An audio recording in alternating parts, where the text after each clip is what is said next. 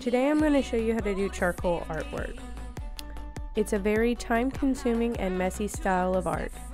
You can choose a still life or a single photo. A still life is a group of objects you set up. Unlike drawing a photo, which is different, where you draw a photo that has been taken and printed. I have chosen an image of a Ford Mustang Fastback. This will be abstract. That's where you take a portion of the image, such as the grill of the car, which is what I'll be doing today. To start off, you need to gather all your supplies pencils, sharpie, ruler, scissors, paper, charcoal, and white Conte. First, make a grid on your image and your paper. The point of the grid is to make it easier to draw the image. Next, you need to lightly draw the image you have chosen.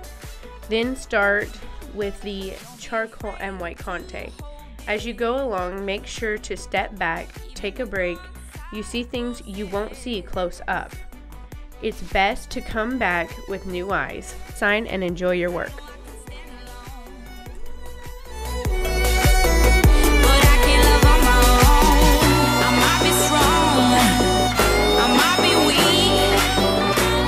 be a